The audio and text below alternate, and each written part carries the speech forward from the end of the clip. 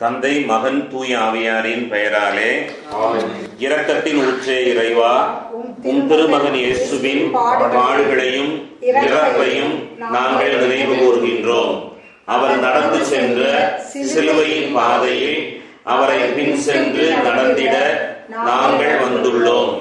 இறுதி வரை இயேசுவின் உண்மை சீடராக நாங்கள் வாழ வரம் அருள வேண்டும் என்று உம்மை இறைஞ்சி மன்றாடுகின்றோம். ஆமென். மனத்துயர் ஜெபம். என் நிறைவா நன்மை நிறைந்தவர் நீர். அனைத்திற்கும் மேலாக அன்பு கூறியவர். என் பாவங்களால் உம்மை மனநோகச் செய்து விட்டேன் ஆகவே நான் குற்றங்கள் பல செய்தேன் எனவும் நன்மைகள் பல செய்ய தவறினேன் எனவும் மனம் நொந்து வருந்துகின்றேன். உமது அருள் துணையால் நான் மனம் திரும்பி இனிமேல் பாவம் செய்வதில்லை என்றும் பாவத்துக்கு ஏதுவான சூழ்நிலைகளை விட்டு விலகுவேன் என்றும் உறுதி கொடுக்கிறேன். எங்கள் மீட்பராம் இயேசு கிறிஸ்துவின் பாடுகளின் பயனாக இறைவா என் மேல் இரக்கமாயிரும். திவ்ய இயேசுவே எங்களுக்காகவும் உத்தரிப்பு நிலை ஆன்மாக்களுக்காகவும் சிலுவை பாதையை தியானிக்கின்றவர்களுக்கு தரப்படுகின்ற பலன்களை அடைய விரும்பி உன் இரக்கத்தை கெஞ்சி மன்றாடுகின்றோம். தூய மரியாவே வியாகுல தாயே இயேசுவின் பாடுகளின் போது அவரோடு நீர் உடனிருந்து அவருடைய பாடுகளிலே பங்கேற்றது போல நாங்களும் எங்கள் அயலார் அனுபவிக்கின்ற துன்பங்களிலே அவர்களோடு இருந்து துணை புரியும் ஆற்றலை பெற உம் திருமைந்தனிடம் எங்களுக்காக வேண்டிக் கொள்ளும்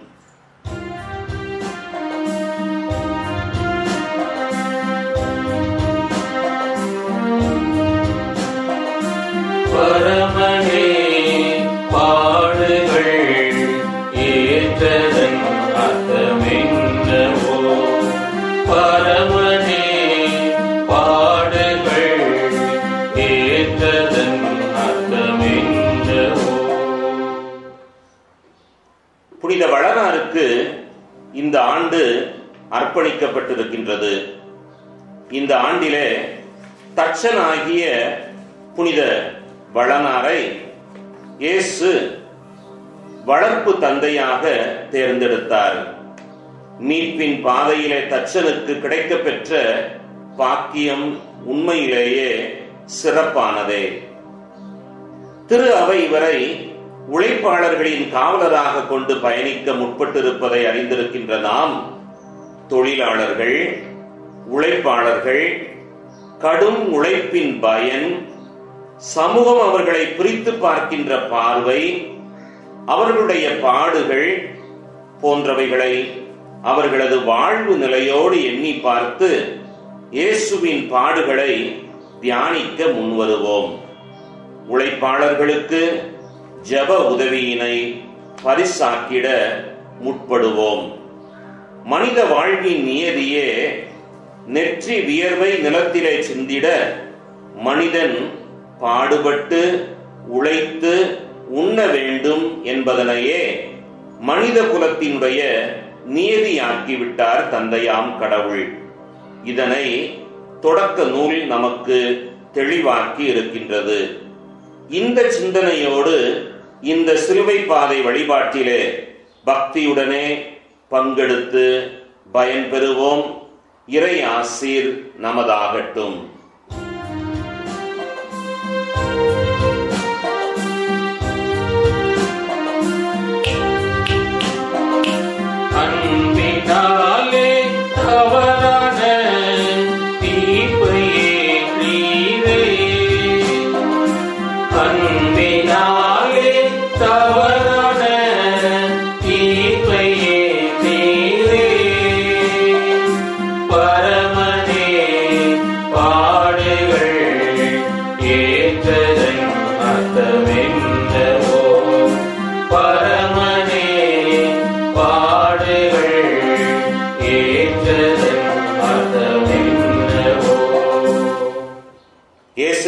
பாடுபட்ட முதலாம் நிலை. இயேசுவே உமது திருச்சிலுவையை ஆராதித்து வணங்கி உமக்கு நன்றி செலுத்துகிறோம். ஏனெனில் உமது திருச்சிலுவையால் நீர் எங்களை மீட்டருளினீர். இயேசுவுக்கு மரண தீர்ப்பிடப்படுகின்றது உழைப்பின் அர்த்தம் அநீதியால் அவமதிப்புக்கு உள்ளாகிறது அநீதி எந்த வழியில் ஏற்பட்டாலும் யாருக்கு இழைக்கப்பட்டாலும் அது அர்த்தமில்லாதது என்பது மட்டுமல்ல நல்லவைகளை நீதியை அர்த்தமிழக்க செய்வதாகவும் அமைகின்றது என்பதுதான் யதார்த்தமும் கூட. நல்லவை யாவும் அர்த்தமுள்ளது. நீதியானவையும் அர்த்தமுள்ளதே. உழைப்பாளர்களின் உழைப்பும் அர்த்தமுள்ளது. எல்லா உழைப்பாளர்களும் இன்றைக்கு இடைத்தரகர்களால் வஞ்சிக்கப்படுகிறார்கள். விவசாயம் விளைபொருட்கள் பத்து ரூபாய்க்கு வாங்கப்பட்டு எண்பது ரூபாய்க்கு விற்கப்படுகிறது. விலை உயர்வுக்காக பொருட்கள் தேக்கி வைக்கப்படுகிறது. இதனால் தேவை என்பது உருவாக்கப்பட்டு அதனால் விலைவாசி உயர்வு என்பது தவிர்க்க முடியாததாகும் போது அநீதி இழைக்கப்படுகின்றது. தனியார் மயமாக்கப்படும் எந்த உழைப்பும் சில தனி நபர்களுக்கு கொண்டாட்டமாகவும் உழைப்பாளர்களுக்கு திண்டாட்டமாகவும் அமைவதனால் உண்மையான உழைப்போருக்கு அநீதியே இழைக்கப்படுகிறது. இதனால் உழைப்பின் அர்த்தம் அந்த அநீதியினால் அவமதிப்புக்கு உள்ளாகின்றது. இயேசுவுக்கு இழைக்கப்பட்ட அநீதியான தீர்ப்பு. அவர் பாடுபட்ட இரையாட்சிக்கு அவமதிப்பையே கொண்டார்ந்தது இன்று நாம் இழைக்கும் அநீதியினால் கிறிஸ்துவின் சாயல் அவமதிப்புக்குள்ளாக்கப்படுவதை எண்ணி வருந்துவோம் திருந்துவோம்.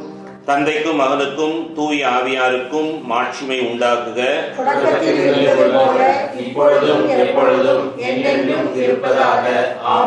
எங்கள் மேல் இரக்கமாயிரும் இயேசுவே எங்கள் மேல் இரக்கமாயிரும். இறந்த நம்பிக்கையாளர்கள் உமது இரக்கத்தினால் உம்மில் நிலை வாழ்வு பெறுவார்களாக. ஆமென்.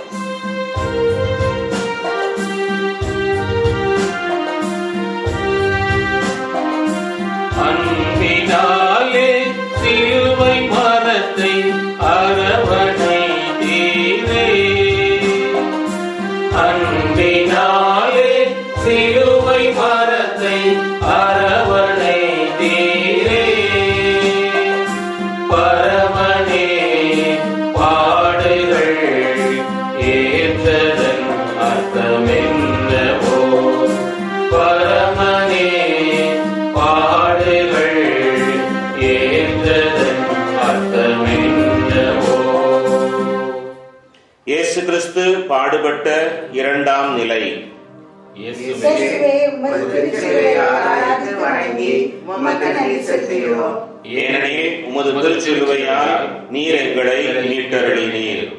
இயேசுவின் தோள் மேல் சிலுவை சுமர்த்தப்படுகின்றது பாரங்கள் சொல்லும் பாடம் என்ன? சுமத்தற்கரிய பழுவான சுமைகளை கட்டி மக்களின் தோளில் அவர்கள் வைக்கிறார்கள். ஆனால் அவர்கள் தங்கள் விரலால் தொட்டு அசைக்கக்கூட முன்வர மாட்டார்கள் மத்தேயு இருபத்தி மூன்று நாலு.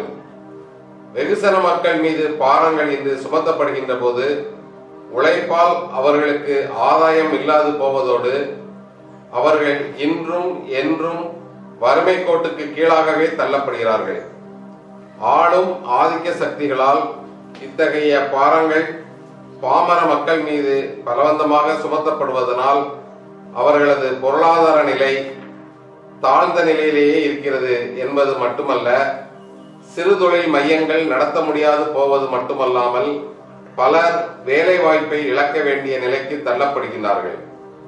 இதனால் குடும்பங்களின் பொருளாதார நிலை வெகுவே வறுமைக்கு கீழே தள்ளப்பட்டு அவர்கள் அன்றாட வாழ்வு பாரமானதாக மாற்றப்படுகின்றது.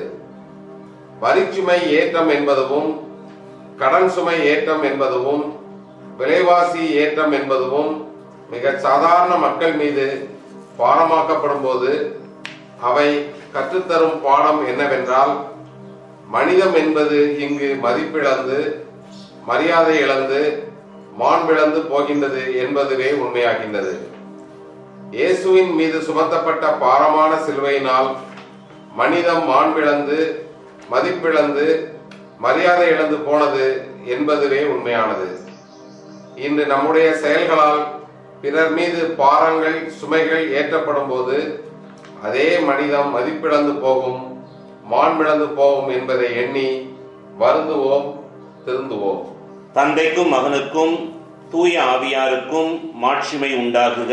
தொடக்கத்தில் இருந்தது போல இப்பொழுதும் எப்பொழுதும் என்றென்றும் இருப்பதாக ஆமென். எங்கள் மேல் இரக்கமாயிரும் இயேசுவே எங்கள் மேல் இரக்கமாயிரும் இறந்த நம்பிக்கையாளர்கள் உமது இரக்கத்தினால் உம்மில் நிறைவாழ்வு பெறுவார்களாக. ஆமென்.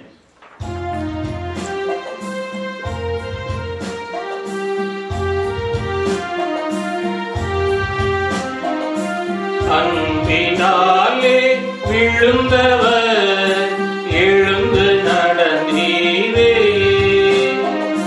அன்பினாலே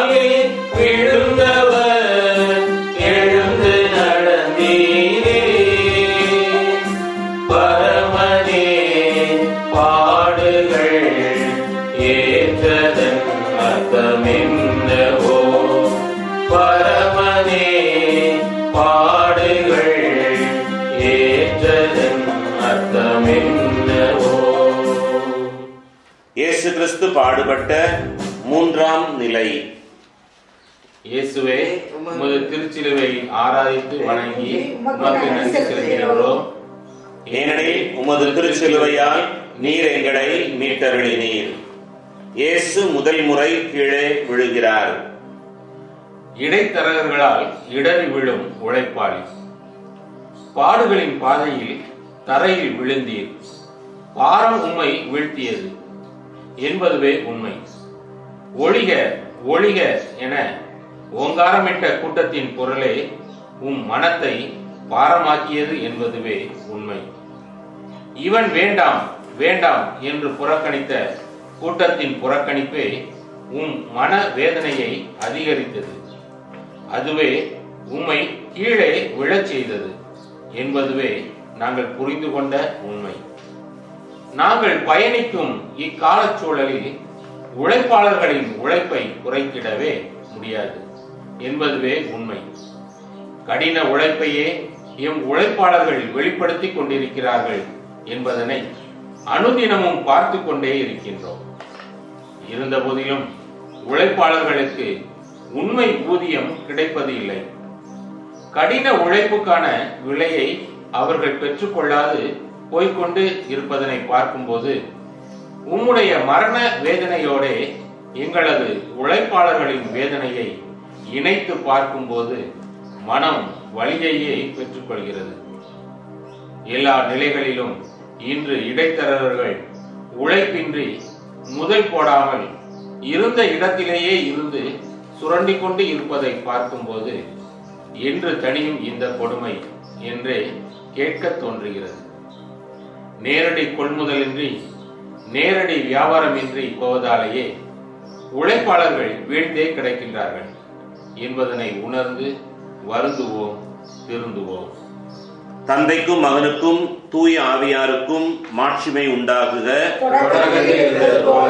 இப்பொழுதும் எப்பொழுதும் என்றென்றும் இருப்பதாக. ஆமென். எங்கள் மேல் இரக்கமாயிரும் இயேசுவே எங்கள் மேல் இரக்கமாயிரும். இறந்த நம்பிக்கையாளர்கள் உமது இரக்கத்தினால் உம்மில் நிறைவாழ்வு பெறுவார்களாக. ஆமென்.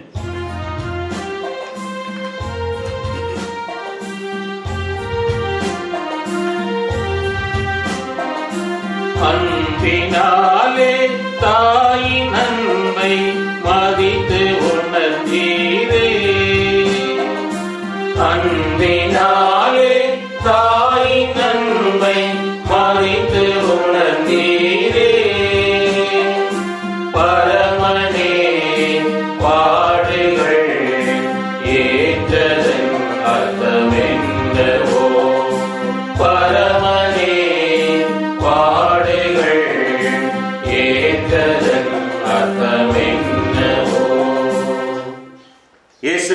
பாடுபட்ட நான்காம் நிலை. இயேசுவே இயேசுவே உமது திருச்சிலுவை ஆராதித்து வணங்கி உமக்கு நன்றி செலுத்துகிறோம். ஏனெனில் உமது திருச்சிலுவையால் நீர் எங்களை மீட்டருளினீர். இயேசு தம் தாயை சந்திக்கின்றார். பார்வைக்கு உண்டு பலம். பாதையின் பாதையில் பார்வை கிட்டியது ஊக்கமே. தாயின் பார்வை ஊக்கத்தையே உந்துதலையே தந்தது. பாடுகளின் பாதையில் பாரத்தை குறைத்தது பார்வையே. அத்தனை பார்வையும் பரிதாபமாகவும் கொடூரமானதாகவும் அவமானத்தை தருவதாகவும் இருந்த வேளையில் கனிவும் தன்னம்பிக்கையும் அக்கறையும் அன்பும் கலந்த தாயின் பார்வை தனையனுக்கு தந்த தெம்புக்கு அளவே இல்லை என்பதுதானே நிதர்சனமாகும். எந்த கடின உழைப்பாளியும் விரும்புவது தன்னவர்கள் தன்னை பரிதாபத்தோடு பார்க்கும் பார்வையை அல்ல மாறாக பெருமிதத்துடனே கூடிய தன் முதலாளி மூத்தவர்கள் தனக்கான அன்பானவர்களின் அக்கறையோடு கூடிய அன்பான பார்வையைத்தான் என்பதில் மாற்றமில்லை. இதுவே அவனை இன்னும் அதிக சக்தியோடு உழைக்கச் செய்யும் என்பது நாம் அறிய வேண்டிய உண்மை. மீட்பின் உழைப்பில் இயேசு என்ற உழைப்பாளிக்கு சக உழைப்பாளியாக மட்டுமல்ல நல்லதொரு தாயாகவும் அன்னை இருந்து ஊக்கத்தை உற்சாகத்தை தன்னம்பிக்கையை தரும் பார்வையை பரிமாறிக்கொண்டார் என்பதுமே உண்மை. ஓடி ஒளிந்து கொள்ளவில்லை. அவமானமாக நினைத்து விலகிக் கொள்ளவும் இல்லை. மீட்பின் பணியினில் தன்னுடைய வியாகுலத்தையும் உள்ளடக்கி தன் மகனுக்கு நம்பிக்கையின் ஒளியை ஏற்றி வைத்தார் அன்னை கன்னிமரியாள். உழைப்பாளர்களை உதாசீனப்படுத்தாமல் உயர்வாய் மதித்து போற்றும் பாங்குடனே பார்வையால் ஊக்கமளிப்போம் உற்சாகப்படுத்துவோம் உயர்வடைய செய்வோம். தந்தைக்கும் மகனுக்கும் தூய ஆவியாருக்கும் மாட்சிமை உண்டாகுக. தொடக்கத்திலே இருந்தது போல இப்பொழுதும் எப்பொழுதும் என்றென்றும் இருப்பதாக. ஆமென். எங்கள் மேல் இரக்கமாயிரும். இயேசுவே எங்கள் மேல் இரக்கமாயிரும். இறந்த நம்பிக்கையாளர்கள் உமது இரக்கத்தினால் உம்மில் நிறைவாழ்வு பெறுவார்களாக. ஆமென்.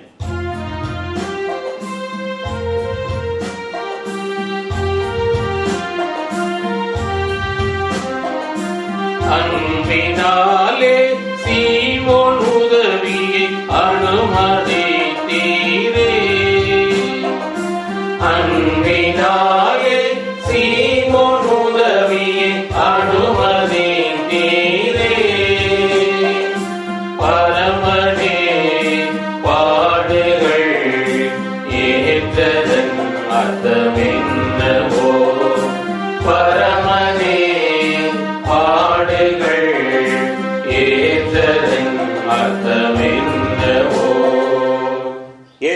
பாடுபட்ட ஐந்தாம் நிலை.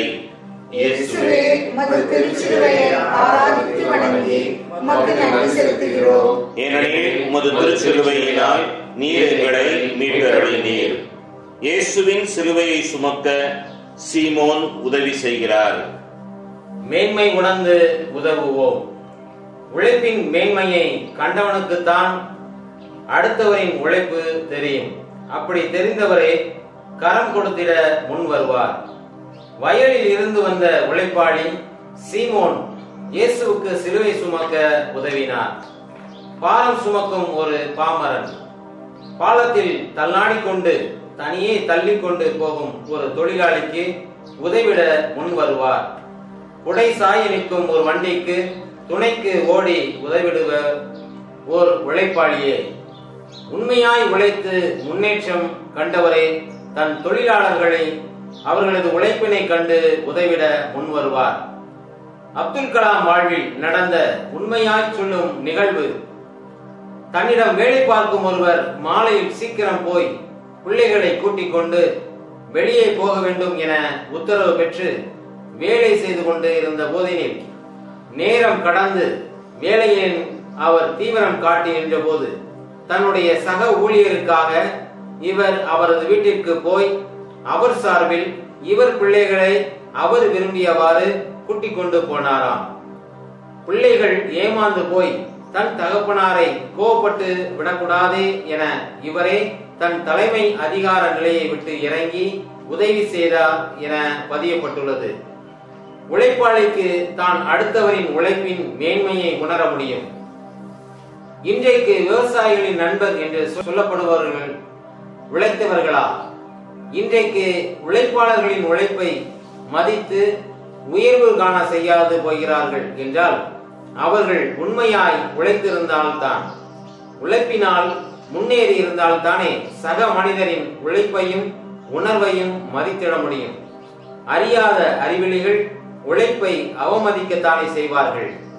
பசியால் வருந்தியவனுக்கு தானே பசியின் கொடுமையும் வருத்தமும் அடுத்தவரின் நிலையும் புரியும். உழைப்பின் மேன்மையை உணர வருந்துவோம் திருந்துவோம். தந்தைக்கும் மகனுக்கும் தூய ஆவியாருக்கும் மாட்சிமை உண்டாகுக. தொடக்கத்தில் இருந்தது போல இப்பொழுதும் எப்பொழுதும் என்றென்றும் இருப்பதாக. ஆமென். எங்கள் மேல் இரக்கமாயிரும் இயேசுவே எங்கள் மேல் இரக்கமாயிரும். இறந்த நம்பிக்கையாளர்கள் உமது இரக்கத்தினால் உம்மில் நிறைவாழ்வு பெறுவார்களாக. ஆமென்.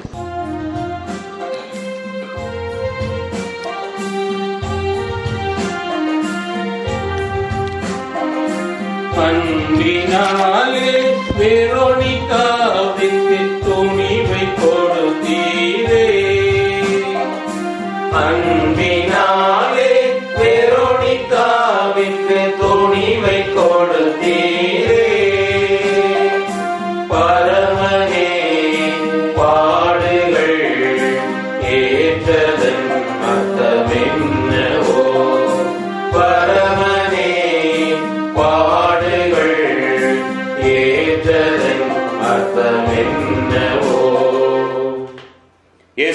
பாடுபட்ட ஆறாம் நிலை.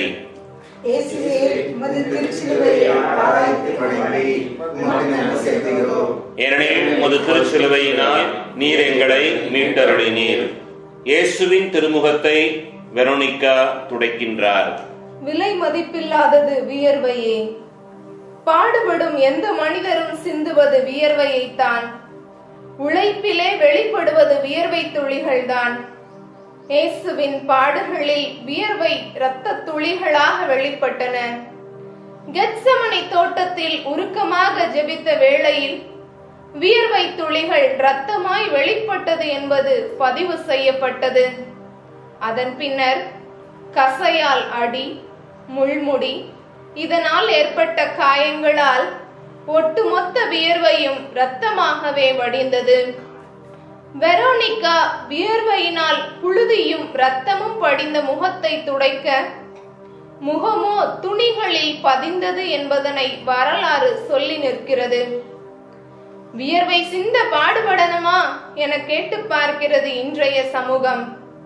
எனவே வியர்க்கவே கூடாது என சொல்லி இன்று குளிரூட்டும் அறையிலிருந்து இதய வியாதி வந்த பின்னர் மருத்துவரிடம் போய் எனக்கு அதிகமாகவே வியர்க்கிறது.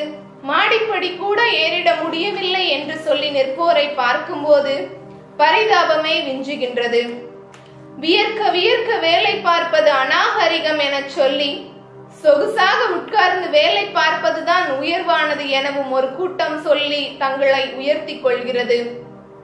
வியர்க்காமல் இருப்போரின் அவதி என்ன என்பதனை புரிந்து கொள்ளாத கூட்டம் வியர்வையின் விலையை மதிப்பிடாத சமூகம் வளர்ச்சியை கண்டுகொள்ளுமா என்பதுவும் கேள்வியே. ஏசு சிந்திய வியர்வை விலை மதிப்பில்லாதது. பெற்றோர் சிந்திய வியர்வை நம்மை உயர்த்தி நிற்கின்றது. விவசாயிகளின் வியர்வை நமக்கு உணவளித்து வாழ்வளிக்கின்றது. உழைப்பாளியின் வியர்வையில்தான் முதலாளியின் உயர்வு அடங்கி நிற்கின்றது. நம்முடைய வியர்வை இன்று யாரை உயர்த்துகின்றது? எண்ணுவோம் வருந்துவோம் திருந்துவோம். தந்தைக்கும் மகனுக்கும் தூய ஆவியாருக்கும் மாட்சிமை உண்டாகுக.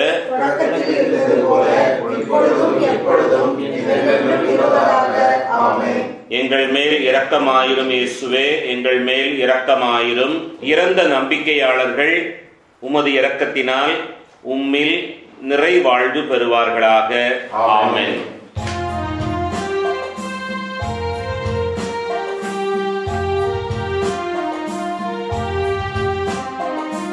அன்பினாலே விழுந்தாலும் பயணம் தொடர்ந்தீரே. அன்பினாலே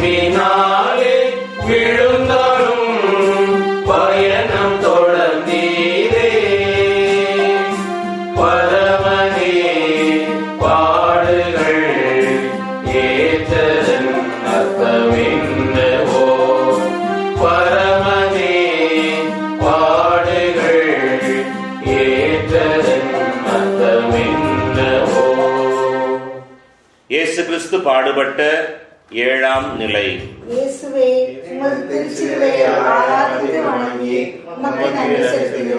ஏனெனில் உமது திருச்சிலுவையினால் நீர் எங்களை மீட்டருளினீர்.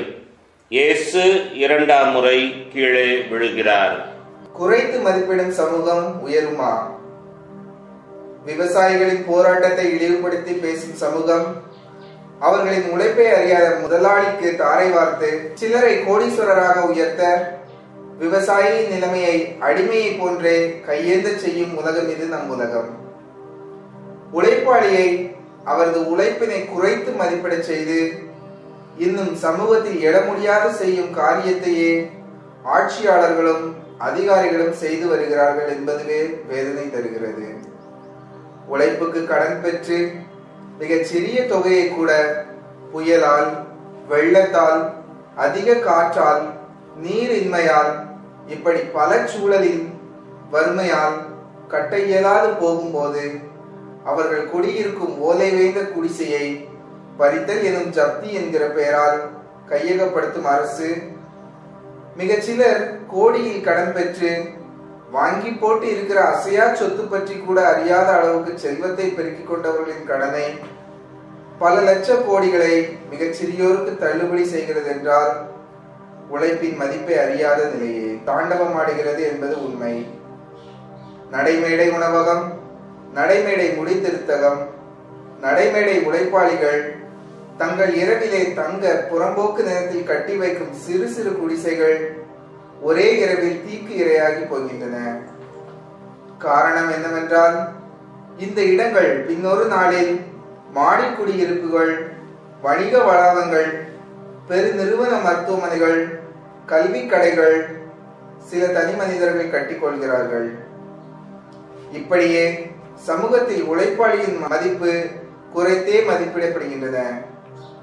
உழைப்பே இல்லாது உயர்ந்து கொள்ளலாம் என்ற தவறான தகவலே தலைமுறையினருக்கு கொடுக்கப்படுகின்றது. உழைப்பாளியின் உழைப்பை மதிக்க மறுக்கும் சமூகம் அவனை எழவே விடாது பார்த்துக் கொள்கிறது என்றால் என்றைக்கு உயரும் இந்த சமூகம்? வருந்துவோம் திருந்துவோம். தந்தைக்கும் மகனுக்கும் தூய ஆவியாருக்கும் மாட்சிமை உண்டாகுக.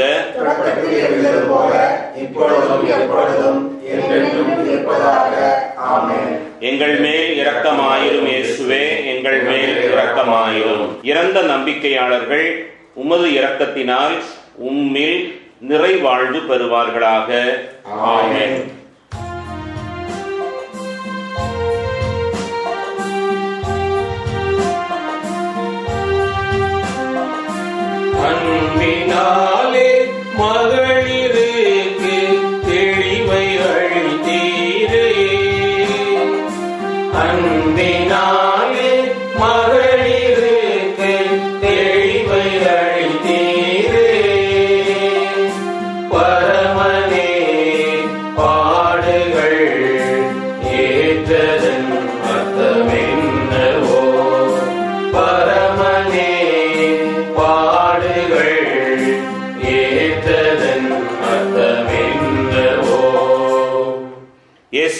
பாடுபட்ட எட்டாம் நிலை.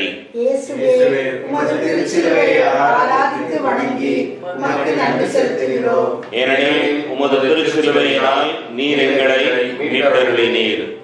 இயேசு எருசலேம் பெண்களுக்கு ஆறுதல் கூறுகிறார். உழைப்பாளி விரும்பும் ஆறுதல். யாருக்கு யார் ஆறுதல் கூறுவது?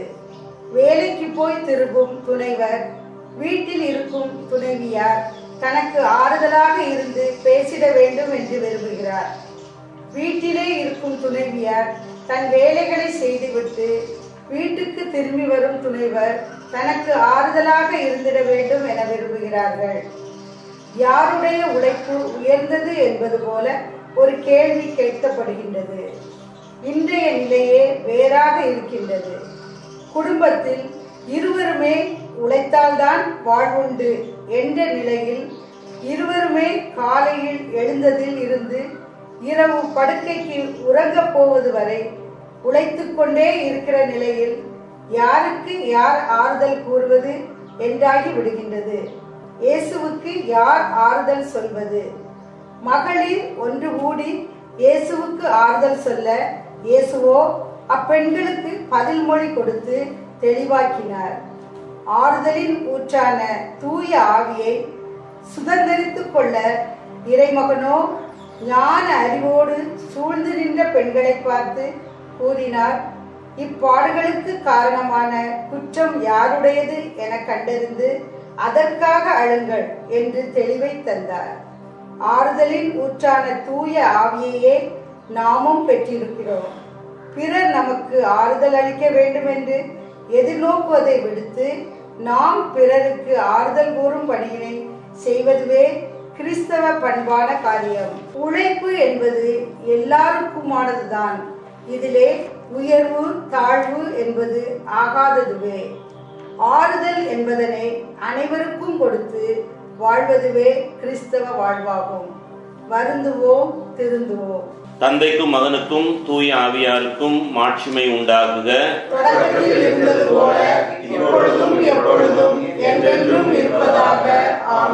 எங்கள் மேல் இரக்கமாயிரும் இயேசுவே எங்கள் மேல் இரக்கமாயிரும். இறந்த நம்பிக்கையாளர்கள் உமது இரக்கத்தினால் உம்மில் நிறைவாழ்வு பெறுவார்களாக. ஆமென்.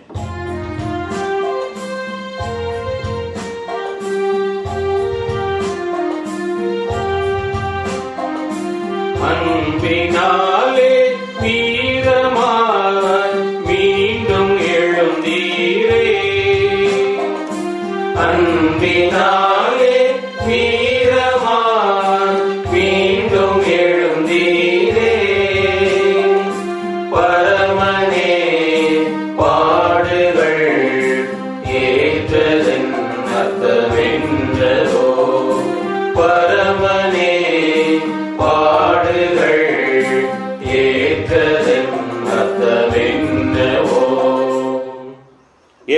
கிறிஸ்து பாடுபட்ட ஒன்பதாம் நிலை.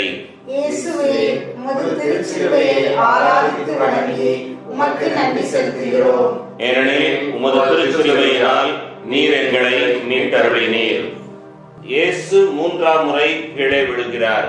இலவசங்களால் வீழ்ந்து கிடக்கும் உழைப்பாளிகள் மனிதன் தன் அடிப்படை தேவையான உணவு உடை உறைவிடம் இவற்றை பெற்றுக்கொள்ள உரிமையுண்டு என்றாலும் இன்றைக்கு உயிர் வாழ்வோர் பலர் உரிமையின்றி வறுமை கோட்டுக்கு கீழாக வீழ்ந்தே கிடக்கின்றனர் என்பதுவே உண்மை.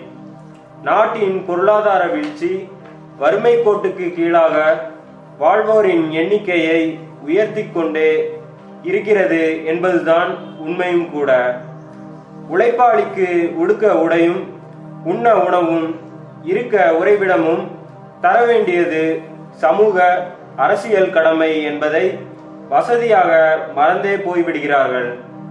தொலைக்காட்சி உணவகம் பசுமை வீடுகள் திட்டம் சத்துணவு திட்டம் காலனி மடிக்கணினி சீருடை என எத்தனை எத்தனையோ இலவசங்களை ஏதோ அவர்கள் கொடுப்பது போல தங்களது உழைப்பில் இருந்து கொடுப்பது போல காட்டிக்கொண்டு அதிலேயும் எத்தனை ஊழல்கள் இன்றும் நிலுவையிலேயே இருந்து வருகிறது.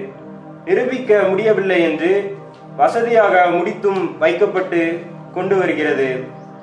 இத்தனை இலவசங்களும் எதற்காக? உழைப்பாளியை சோம்பேறியாக்குவதற்கு இல்லை. கொள்ளையடிப்பதற்காகவே. உழைப்பாளிகளின் உண்மை நிலையை உயர்த்திடாது.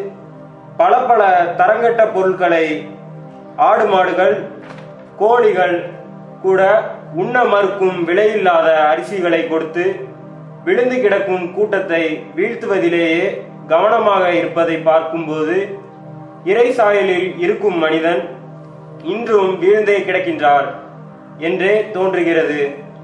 நிலை கெட்ட இந்த மாந்தர்களை இன்றும் எண்ணி அவர் இரத்த கண்ணீர் வடித்துக் கொண்டே இருக்கின்றார் என்பதுவே உண்மையாகின்றது. இலவசங்களை தூர எறிந்துவிட்டு பத்து விரலால் உழைத்து ஐந்து விரல்களால் சாப்பிட்டு வாழ்வோம் என உறுதியெடுத்தாலே உயர்வோம் வருந்துவோம் திருந்துவோம். தந்தைக்கும் மகனுக்கும் தூய ஆவியாருக்கும் ஆட்சிமை உண்டாகுக. தொடக்கத்தில் இருந்தது போல இப்பொழுதும் எப்பொழுதும் என்றென்றும் இருப்பதாக. ஆமென். எங்கள் மேல் இரக்கமாயிரும் இயேசுவே எங்கள் மேல் இரக்கமாயிரும். இறந்த நம்பிக்கையாளர்கள் உமது இரக்கத்தினால் உம்மில் நிறைவாழ்வு பெறுவார்களாக. ஆமென்.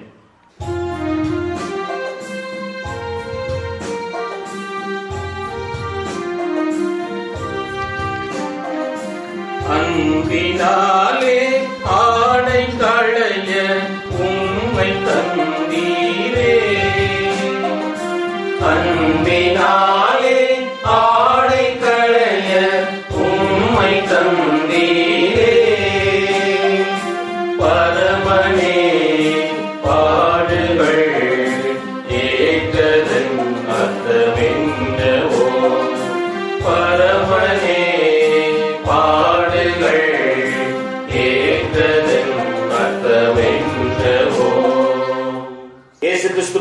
நன்றி பத்தாம் நிலை.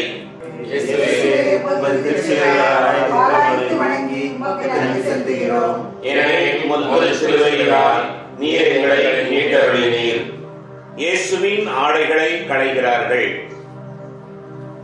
மதிப்பும் மாண்பும் கொண்ட உழைப்பாளி. மானம் இல்லாத மானிடரை காணும்போது இன்னும் மானுடத்தை மானபங்கப்படுத்திக் கொண்டேதானே இருக்கிறார்கள் என்ற கோபம் எழவில்லையா? பொறுப்புள்ள ஒருவர் இப்படி பேசினார். எங்கள் அரசு குடும்பத்திற்கு ரூபாய் கொடுத்தது உறுதியாக தெரியும்.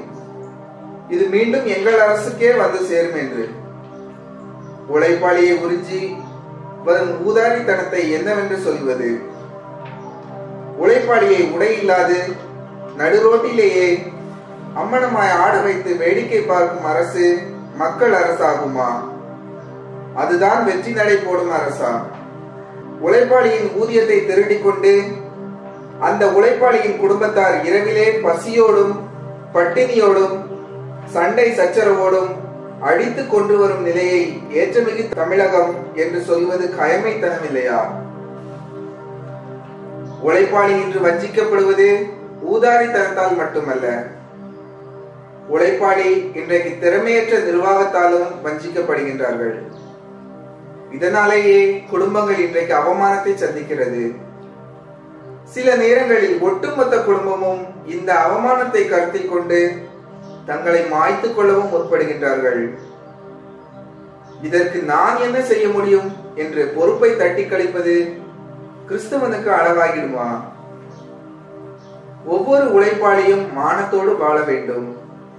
அவன் குடும்பமும் மான மரியாதையோடு வாழ்ந்திடல் வேண்டும். அந்த உழைப்பாளியின் உழைப்பாலேயே நானும் என் குடும்பமும் மான மரியாதையோடு உண்டு மகிழ்ந்து வருகிறோம் என்பதனை நினைத்து பார்த்திடல் வேண்டும். எனவே இதற்கு நான் என்ன செய்ய வேண்டும் என்று கேட்டறிந்து அவனுடைய வாழ்வாதாரத்தை உயர்த்த மதிப்போடு மரியாதையோடு நடத்திடுவதுவே நம்மவரின் தலையாய கடமை என்பதை உணர்ந்து வருந்துவோம் திருந்துவோம். தந்தைக்கும் மகனுக்கும் தூய ஆவியாருக்கும் மாட்சிமை உண்டாகுக.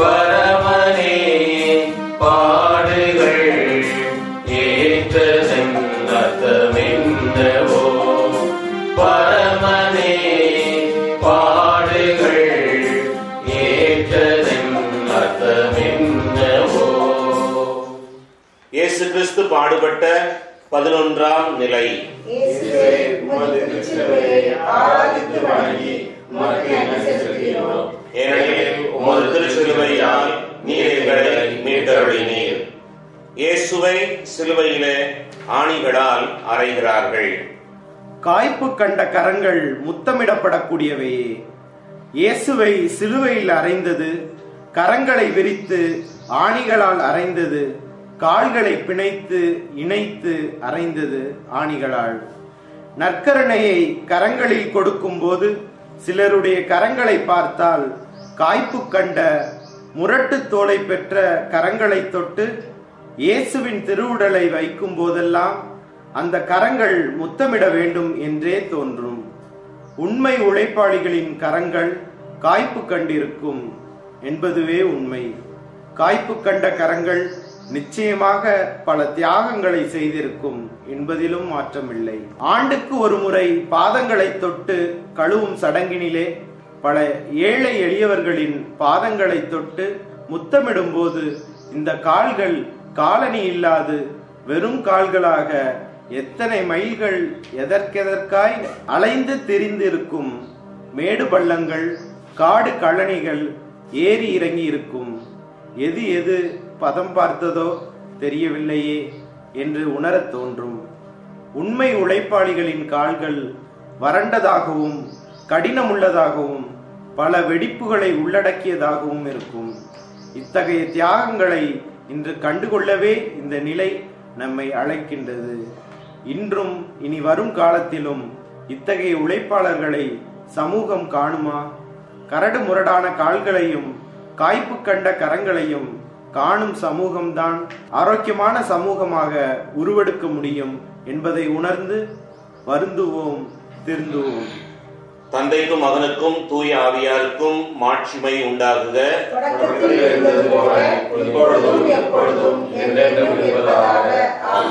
எங்கள் மேல் இரக்கமாயிரும் இயேசுவே எங்கள் மேல் இரக்கமாயிரும் இறந்த நம்பிக்கையாளர்கள் உமது இரக்கத்தினால் உம்மில் நிறைவாழ்வு பெறுவார்களாக. ஆமென்.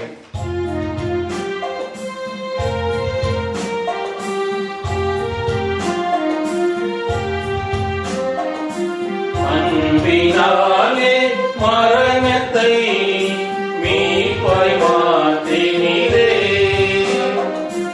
அன்பினாலே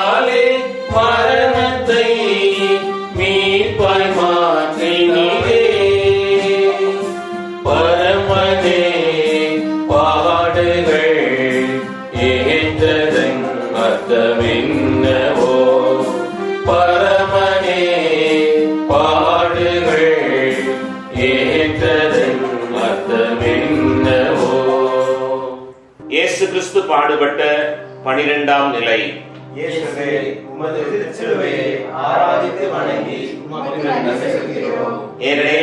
திருச்சிலுவையினால் நீர் எங்களை மீட்டருளினீர். இயேசு சிலுவையிலே உயிர் துறக்கிறார். உழைப்பாளியே உன்னை மாய்ப்பது அறிவினமே. இயேசு சிலுவையில் மரணத்தை சந்தித்தார். தோல்வி என பேசப்பட்டது. தன்னை விடுவிக்க தானே கோரினாரே தவிர தன்னை மாய்த்து கொள்ள எத்தனிக்கவில்லை. சாவு வரும் அளவுக்கு பாடுகளையும் துன்பத்தையும் ஏற்றுக்கொள்ள தன்னை அர்ப்பணித்தார். வறுமை ஏழ்மை தாழ்மை தோல்வி விரக்தி வெறுமை என வரும்போது மனிதன் ஏன் தன்னை மாய்த்துக் கொள்கிறான்? பல நூறு விவசாயிகள் தங்களை மாய்த்துக் கொண்டார்கள் என புள்ளி விவரம் சொல்லும் அரசு அதனை தடுக்க நடவடிக்கை எடுக்கவா போகிறது? இல்லை. தனக்கு தன் அரசு அவமானம் என சொல்லி பதவி துறக்கவா போகிறது?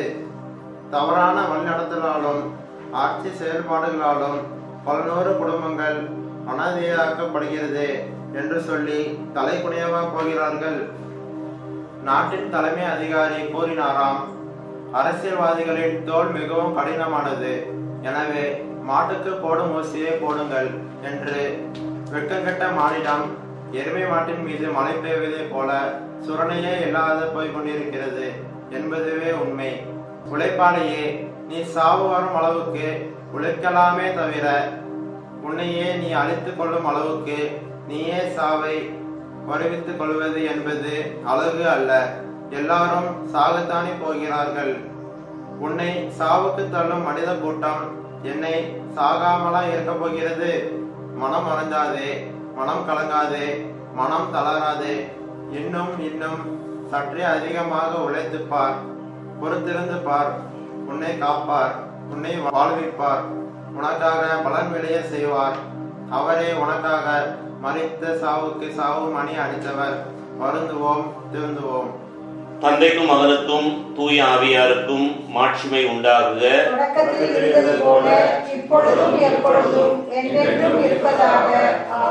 எங்கள் மேல் இரக்கமாயிரும் இயேசுவே எங்கள் மேல் இரக்கமாயிரும். இறந்த நம்பிக்கையாளர்கள் உமது இரக்கத்தினால் உம்மில் நிறைவாழ்வு பெறுவார்களாக. ஆமென்.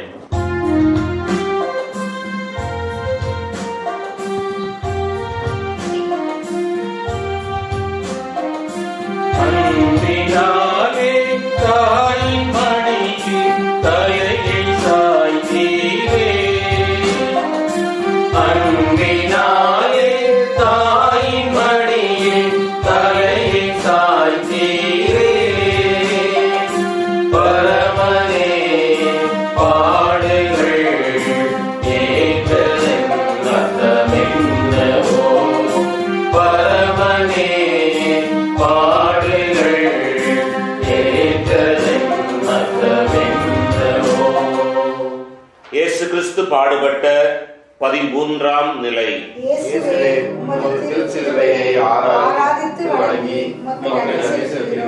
ஏனெனில் உமது திருச்சிலுவையால் நீர் எங்களை மீட்டருளினீர்.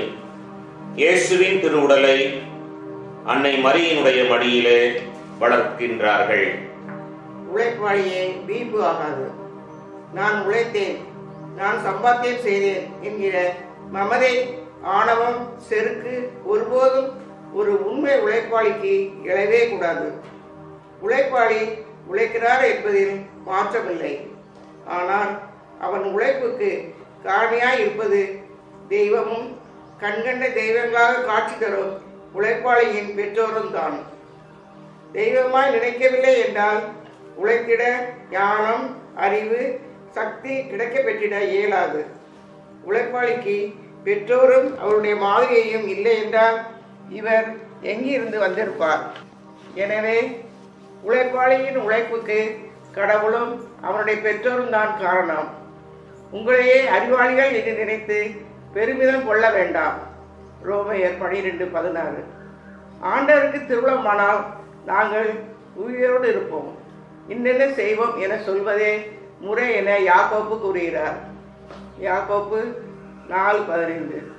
இணைச்சட்டல் நூல் எட்டாம் அதிகாரம் பதினேழாவது வசனம். எங்கள் ஆற்றலும் எங்கள் கைகளின் வலிமையுமே இந்த செல்வங்களை எங்களுக்கு ஈட்டி தந்தன என்று உங்கள் உள்ளங்களில் எண்ணாதபடி கவனமாக இருங்கள் இந்த இறைவாக்குகள் உழைப்பது போல ஒரு உண்மை உழைப்பாளி தன்னுடைய உழைப்பு அந்த உண்மை இறைவனாலேயே ஆகிறது என்பதை உணர்ந்து அவரிடம் தன்னை ஒப்புவிக்க கடவான். இதனைப் போலவே சீரக் மூணு எட்டு சொல்கிறது சொல்லாலும் செயலாலும் உங்கள் பெற்றோரை மதியுங்கள். அப்பொழுது உங்களுக்கு ஆண்டவரின் ஆசி கிடைக்கும். தன் தனையனின் உண்மை உழைப்பாலே நாங்கள் பலம் பெற்றோம். அவருடைய உண்மை உழைப்பு எங்களுக்கு பலம் சேர்த்தது உள்ளது.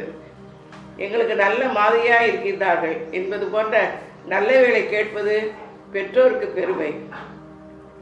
இதனை பெற்றுக் கொடுப்பது ஒவ்வொரு பிள்ளையும் தன் பெற்றோருக்கு செய்யும் கடமையும் பொறுப்பும் ஆகும்.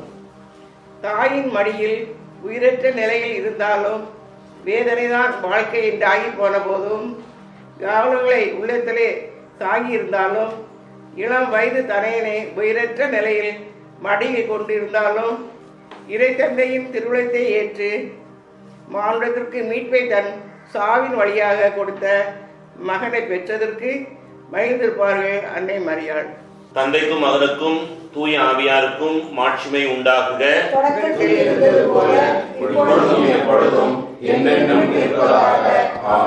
எங்கள் மேல் இரக்கமாயிரும் இயேசுவே எங்கள் மேல் இரக்கமாயிரும். இறந்த நம்பிக்கையாளர்கள் உமது இரக்கத்தினால் உம்மில் நிறைவாழ்வு பெறுவார்களாக.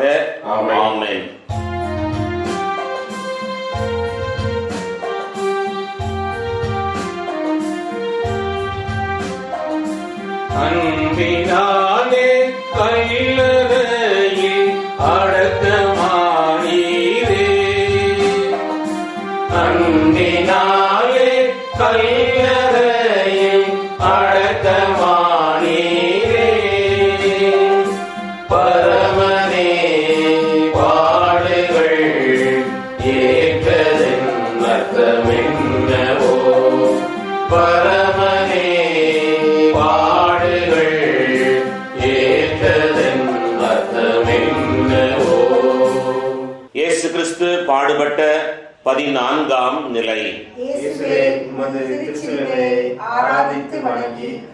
நன்றி செலுத்துகிறோம்.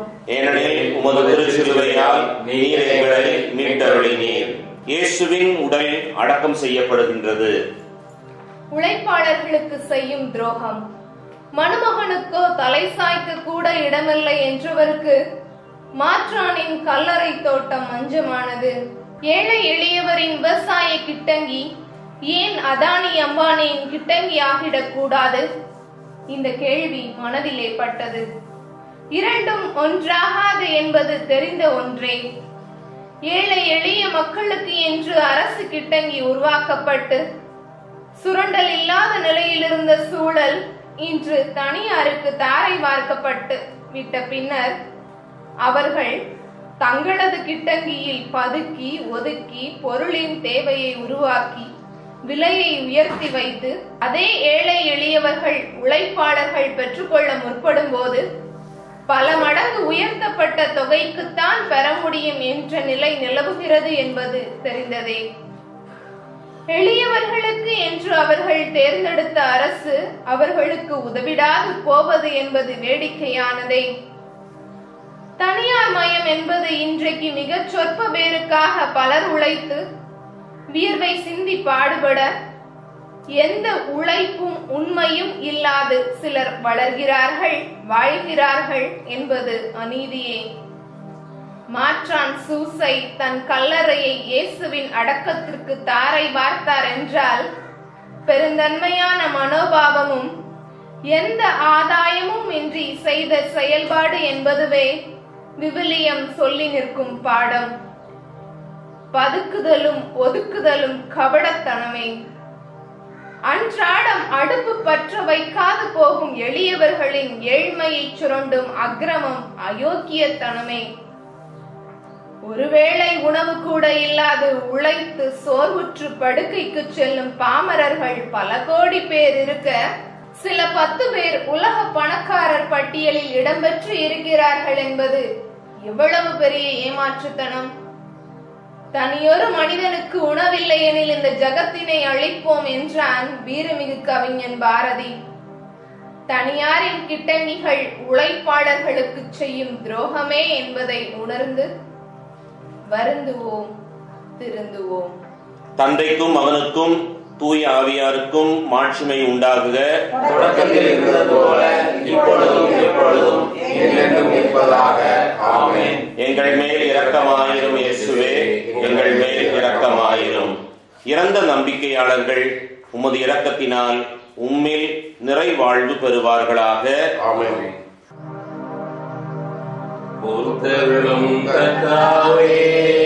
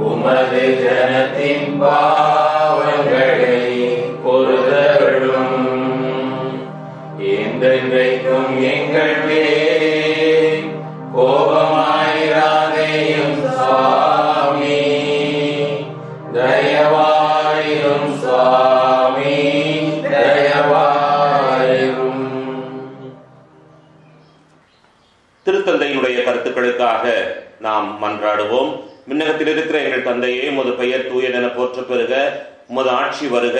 உமது திருவுளம் விண்ணுலகில் நிறைவேறுவது போல மண்ணுலகிலும் நிறைவேறுக.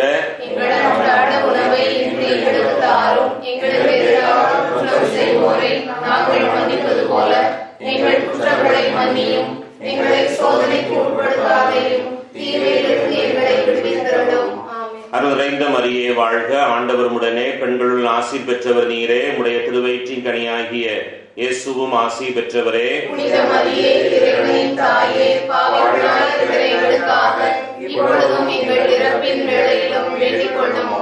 தந்தைக்கும் மகனுக்கும் தூய ஆவியானவருக்கும் ஆட்சி உண்டாகுக.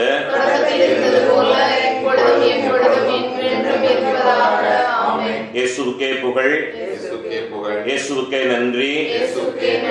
மரியே வாழ்க. மரியே வாழ்க. புனித வளனாரே தந்தை மகன் தூய ஆவியாரின் பெயராலே. ஆமென்.